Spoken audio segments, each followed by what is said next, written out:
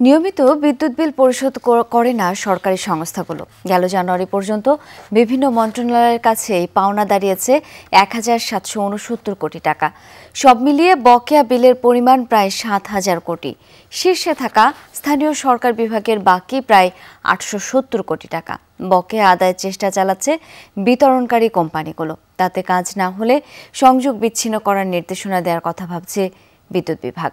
মাহফুজ মিশুর রিপোর্ট। স্থানীয় সরকার, পল্লী উন্নয়ন ও সমবায় মন্ত্রণালয়।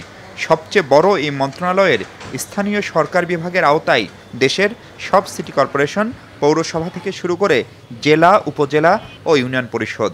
জানুয়ারি পর্যন্ত এই বিভাগের বকেয়া বিদ্যুৎ বিল প্রায় আটশো সত্তর কোটি টাকা। মে পর্যন্ত হিসেব করলে তা আরও অনেক বেশি হবে। বিল বাকির দিক থেকে এরপরেই আছে দুর্যোগ ব্যবস্থাপনা ও ত্রাণ মন্ত্রণালয়। তাদের কাছে পাওনা আড়াইশো কোটি টাকার উপরে। এছাড়া শত কোটি টাকারও বেশি বাকি ধর্ম মন্ত্রণালয়ের।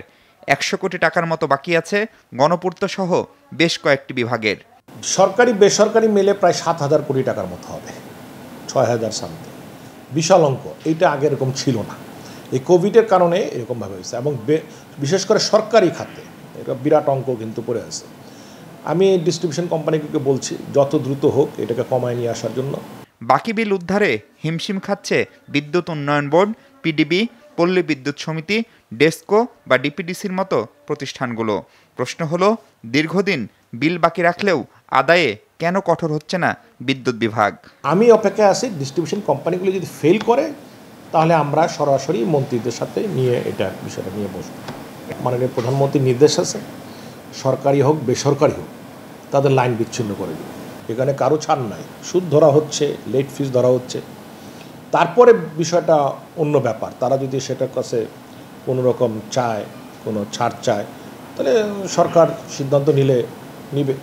সরকারি, বেসরকারি সব ধরনের গ্রাহকের কাছে সরকারের পাওনা গ্যাস বিল আট হাজার সাতশো ছেচল্লিশ কোটি আর বিদ্যুতে মোট বাকি ছ হাজার একাশি কোটি টাকা।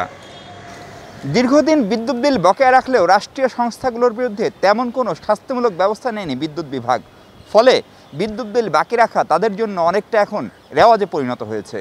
এই অবস্থার পরিবর্তন না হলে সুশাসন প্রতিষ্ঠা যে কঠিন হবে তা বলার অপেক্ষা রাখে না। মাহফুজ মিশু, যমুনা নিউজ, সচিবালয়, ঢাকা।